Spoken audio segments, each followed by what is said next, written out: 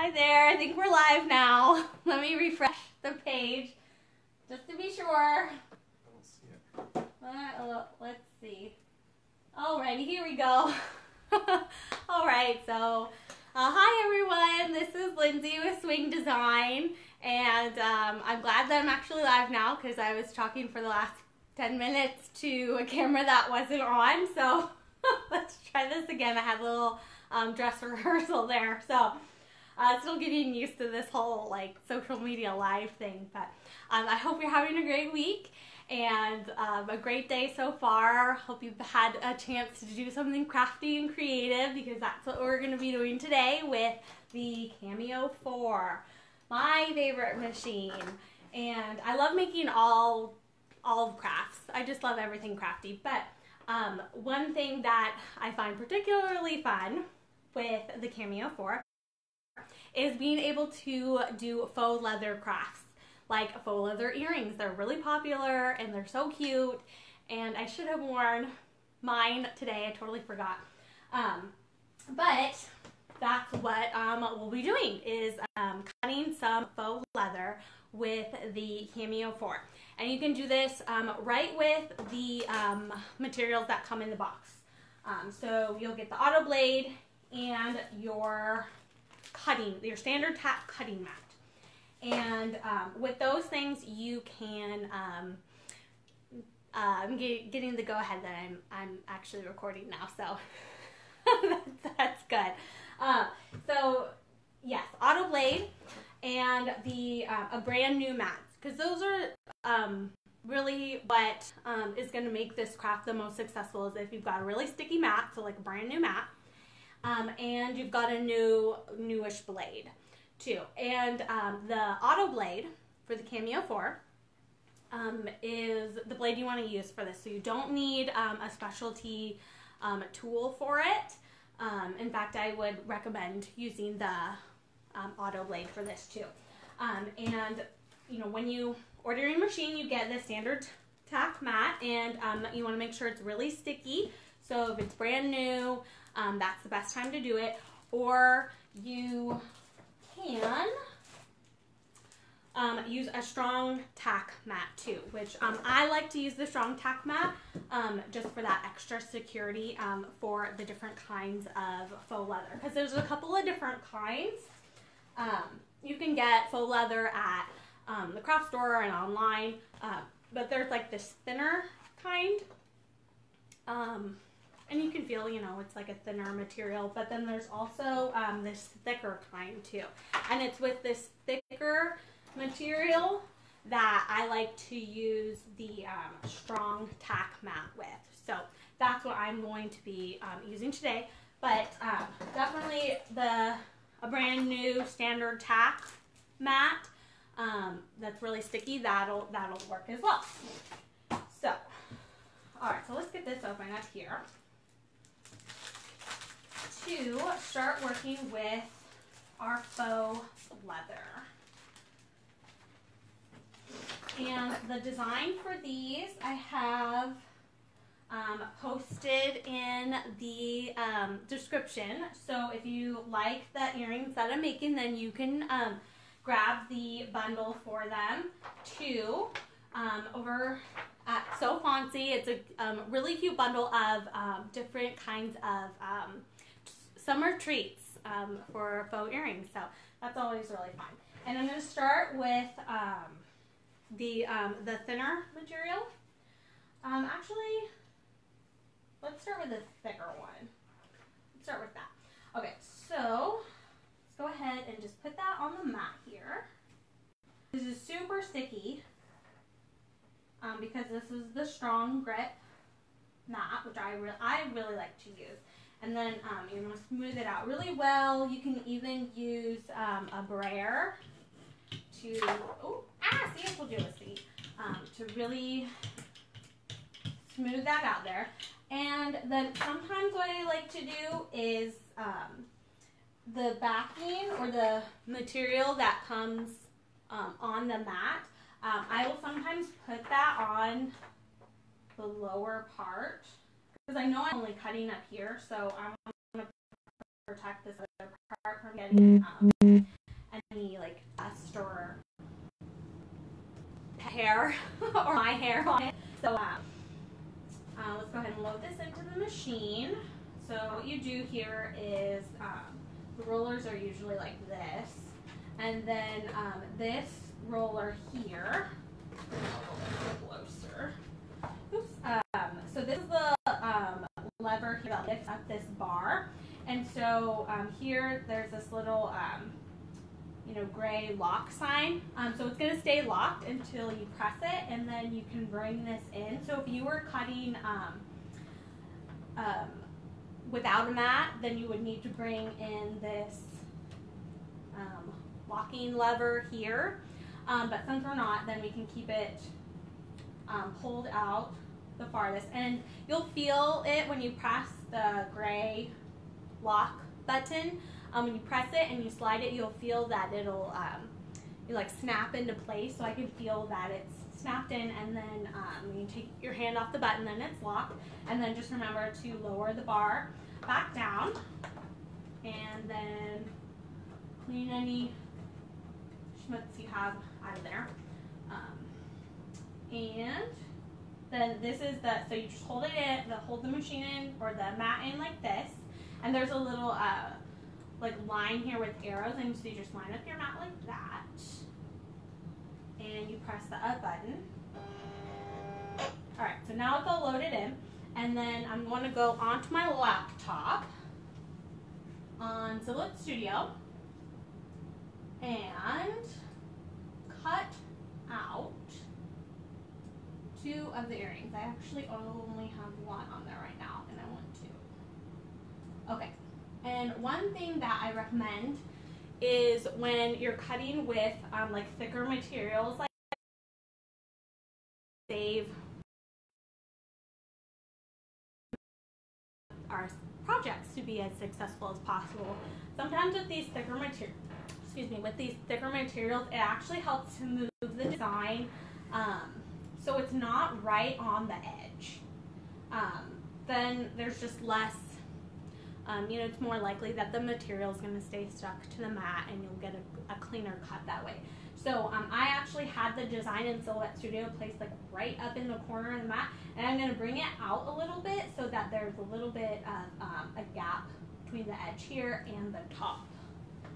And, and then there's also a gap between the two um, between the two earrings themselves. And in the send panel, I've created, let's actually move this up there and there. Okay, so that's gonna do its thing. You can hear the machine tapping. That's the auto blade. So sometimes the, um, oh, it's, it's, it's going well. Um, so sometimes you'll hear like this is a one tap um, auto blade technology. And so what that means is it just means that the blade will tap once to reset and then it'll tap um, how many times or however um, many times you've set the blade to. So I've actually um, created a faux leather earring setting um, in my materials in uh, Silhouette Studio so that um, you know I can just go and select that material type and then uh, it'll cut it. And so for this thicker one, right now I'm doing a blade of 10, a speed of 1, and a force of 25, and then two passes. And let's just check if it cut there. I like to do this before. If you check before um, you've unloaded the mat, then, um, you know, if this didn't cut all the way through, then um, you could send it through. As long as you haven't unloaded the mat, you can um, send it through again and it'll cut it out. But um, just kind of peeling it back here, I can see that it cut. So I'm going to press this button here to unload it. And it looks like we maybe got a little bit of something there, but that's fine. But look at this one. cut it out like perfectly. So that's one of the uh, earrings. And then this one, for some reason, I don't know what happened there. I'm just going to trim it like that. You know? There we go. Just like that. Okay, so now one thing that I like to do with faux leather earrings um, is, oh, I'm going to take this off and then put this back. You always want to put your covering back on the mat so you don't get any dust and it stays sticky for the longest amount of time. Right. And then what I like to do, this is just a little trick that I've done, is I um, hole punch um, in the corner right here and then I can hang it up um, from a hook on my pegboard here. Um, and that works really well for me.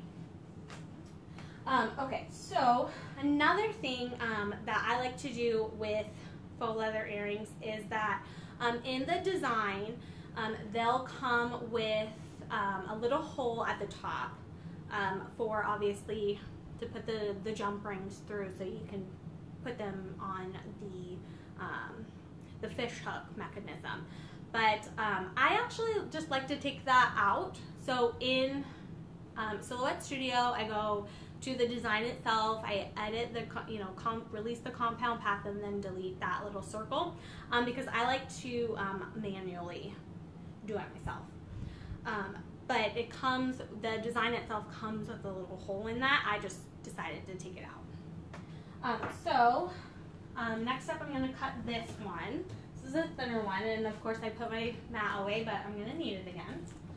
Um, and with these mats, you can load them from either side. So there's, um, um, you know, the arrow here and here. So even if you load it from this side, like the numbers are going to be upside down, but um, like silhouette up here is right side up, and you can still load it this way too. So see, already got one of the hairs on it. Oh, long hair, don't care. Okay, so I'm going to put this on here. And remember, you want to get it like pretty smooth. Um, you can use a brayer. I love using a brayer. I think it really helps. Um, it also helps too if um, whatever you're using is um, you know, sensitive to being touched. So um, you don't want to get, you know, the oils on your fingers on it. Um, you can use a brayer. Just smooth it out and you don't even have to touch it. Then let's load it back in there. And then since this is a thinner material, I'm going to use the same blade depth, um, but I'm going to lower the force a little bit.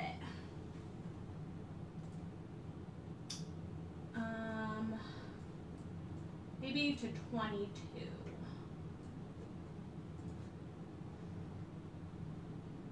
And I'm just lining up these designs here. I'm going to send that. And then it's going to tap and do its thing. So tap once to reset to zero and then it taps 10 times to get to um, and then I'm just checking that um, she's doing what she's supposed to be doing and she is um, so let me check if there's any um, comments or questions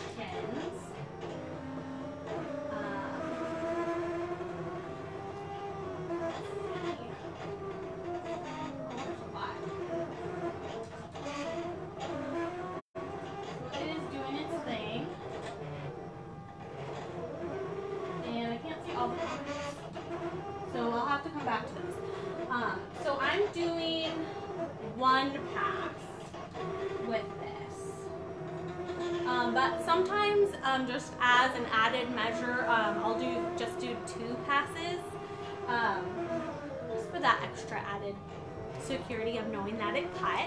Um, so again, so what we're doing if you're just joining us is we are cutting faux leather with the Cameo 4 and this is using the auto blade. So this is the blade that you get um, when you order the machine, and um, you know, to cut faux leather, you don't need um, any special blade tools like the rotary blade. In fact, for faux leather, with faux leather earrings, it's it's best to just to use the um, either the auto blade or if you have a ratchet blade, the uh, one of these.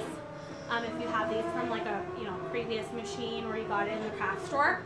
Um, to use the ratchet blade though in the machine, um, the Cameo 4 comes with a set of adapters.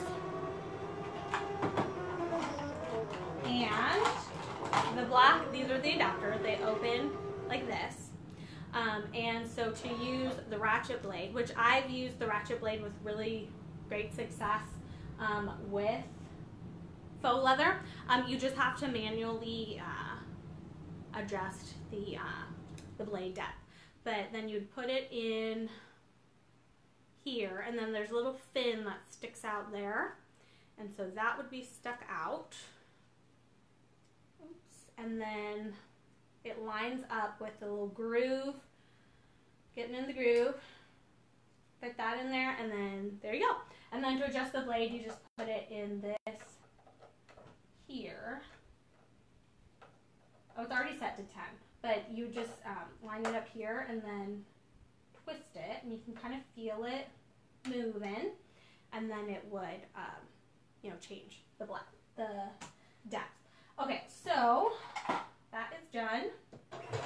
Um, oh, I should have tested it first. I didn't test it, um, but I'm feeling lucky today. Um, if you test it before you take it out of the machine, then you can run it back through. So I could, I couldn't put this back in and line it back up to cut, but oh my gosh, we got a really perfect cut. This is so beautiful. And these are so these are so cute. These are from the Sweet or no Summer Treats earring bundle over at So Fontsy. these are so cute. They're little cherries. Um, and oh no, where did I put my uh the black ones that I just cut? Story of my life, right? Crafting, and then you put something down, and then uh, oops, put it on upside down. Oh no, I cut the wrong ones. Oops, I, I was playing with two different kinds of um, earring styles to decide. So I cut, I cut the wrong one. But you can kind of see what, um, what I'd want it to look like with the, the black behind it. Um, so aren't those so cute? I totally love the, I mean, and you could just do the earrings like this too. I think that's really cute. So adorable. Um, so let's peel this one off.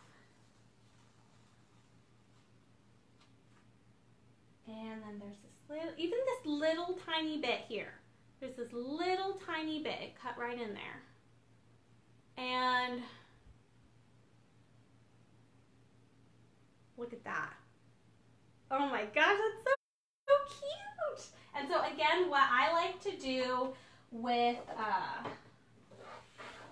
these is I actually like to take in Silhouette Studio, the computer, the free software, um, that you download to um, use with the machine um, is I like to actually take out the circle um, so I can punch it myself with a, um, I think this is like a 1 16th hole punch.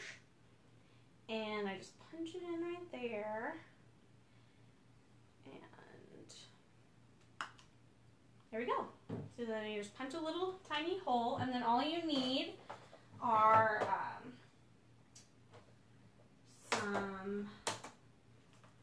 um, you can these um, packs at like the craft store or online, and they come with everything that you need. These jump rings. Should you use gold or silver? I think I think silver.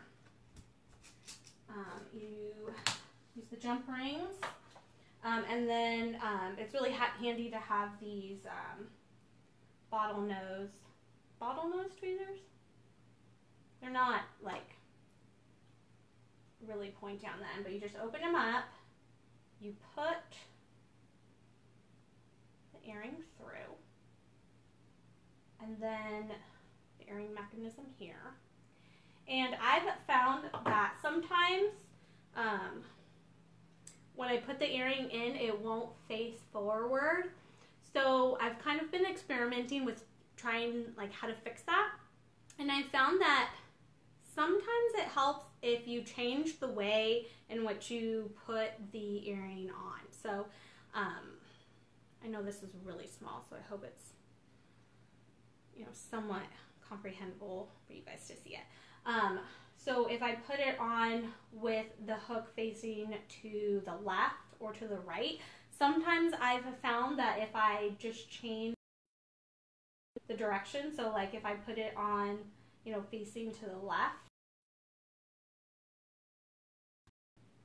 um, sometimes if I change it to the one facing, if I just change the orientation, it can change. It can help a little bit. Um, but anyway, that's the outfits are so cute. I love these. Oh, this would be really cute with um, like glitter. You know, you can put HTV on the leather, um, glitter, which I love glitter HTV. So anyway, there you go. And of course, I would do the same thing to the other one. But then there you go, and you got this. There we go. There we go. So then you have your um, faux leather earrings cut with your Cameo 4 and the Auto Blade. So uh, you are ready to get started um, right out of the box with your um, fun crafting adventures with the Cameo 4. So, um, well, thank you so much for watching. That's all I have planned for today. Um, I think I will go ahead and then recut that black piece because I think it would be really pretty to put a piece of um, the the thicker faux leather behind these. Um, but that's it, that all, all they had. This is Lindsay for Swing Design. I have the uh, links for both the design um, itself um, over at Fontsy, but also for um, the Cameo 4 as well. And I linked to um, just the Cameo 4 page, um, so you can take a look at the machine or all the different bundles that we have too. So, you know, there's different bundles that come with HTV and um, uh, adhesive vinyl, so, you know, whatever um, suits your fancy. So um, I hope that you have a great rest of your day, and I will see you next time. Bye!